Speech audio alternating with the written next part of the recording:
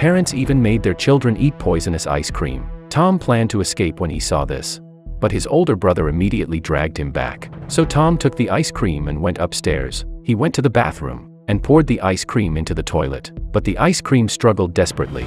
Squirming to get out, Tom was extremely scared. So he immediately flushed the toilet to wash away the ice cream, to avoid arousing suspicion from his family.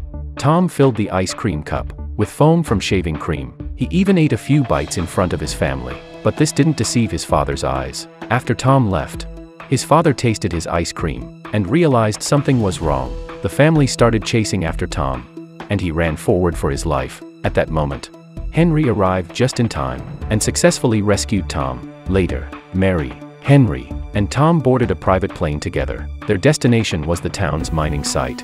As Henry discovered that the person in charge of the ice cream owned a mine, the ice cream might be produced there.